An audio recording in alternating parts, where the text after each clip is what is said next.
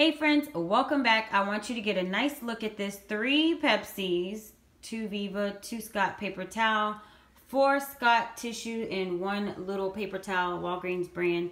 This was all free in a moneymaker. Walgreens paid me to walk out of the store with all of this. Okay, yes. Can I get a hallelujah? Hallelujah. Amen. Thank you, Jesus. Toni is coming back strong for 2018. So, you know, last week we did the razor deal. And I told you I was saving those register rewards because I was going to stock up on paper products. Isaac is leaving back to Corpus Christi today, so I needed to get this done ASAP. Also, y'all know when your kids come home from college and all their friends be over, they done drunk up all my damn Pepsis. So I had to replenish them because you know college kids are broke and they don't have money to replenish my shit. Stuff. I'm sorry about that. Now, all right, so I had three $10 register rewards and I had one $3 register reward from last week. So I had $33 in register rewards. I also had a coupon for every single item except for the Pepsi and the Walgreens brand paper towels. So when you have register rewards like this right here, and you have a coupon, you have to have a filler item to use these. So I had three of these. Pretend these are all $10. So I had three of these and they all went with the Pepsi because those were my coupons to cover the to pay for everything is what I'm trying to say. So when you have a register reward and you have a coupon for an item, you have to get something else to be able to use the register reward. It's not like at CVS where you can use your extra bucks to pay. Walgreens is a little bit different. So when you have a coupon for every item, you must have a filler item. So if you are new to Walgreens, the three Pepsis were my filler items for my $10 register rewards. And then for my $3 register reward, that is what I, I had a $3 register reward. I can't remember why I got it last week, but I got it for something. Um, I used the paper towels. They were 79 cents. And so that was my filler item. So all of the um, Scott's items were $3.99. And I used the $1 coupon from today's inserts. It was in the Smart Source. And that took off $1. So it made them $2.99. The drinks were three for ten, so they're three dollars and thirty-three cents a piece. And the Viva was four ninety-nine. I just like Viva, so I got it.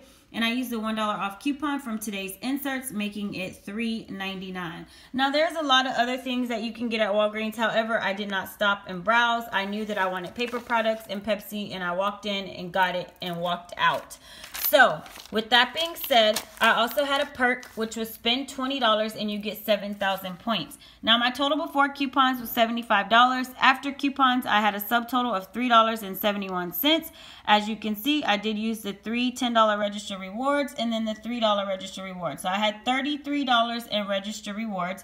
You cannot pay with points and get points back because when you are doing a spin 20 get 7,000 points, which is the perk, you can't pay with the points. So don't try to chance it, but you are allowed to pay with the register rewards. Not a problem. So I did, again, 371.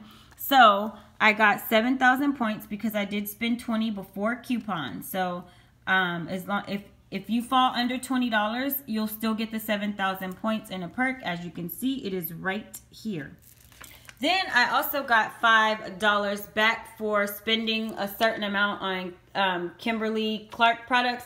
I think it's when you spend $25, you get $5 back. I can't remember exactly. I got a print off last week and I wasn't even thinking about it. So when this printed, I was completely surprised. So overall, this was absolutely free plus a $8 moneymaker. And the reason being is because I paid $4 out of pocket. As you can see right here, that's what I paid out of pocket. I'm going to include tax, 371 plus 31, 402 out of pocket. I got $5 back. So that's already a $1 moneymaker. And then I got 7,000 points back because 7,000 points is $7. So again, this was an $8 moneymaker. Walgreens was like, hey, Toni, we know you're struggling over there and you need some Pepsis and some paper products. So go ahead and come by and pick all of this stuff up for free. Okay?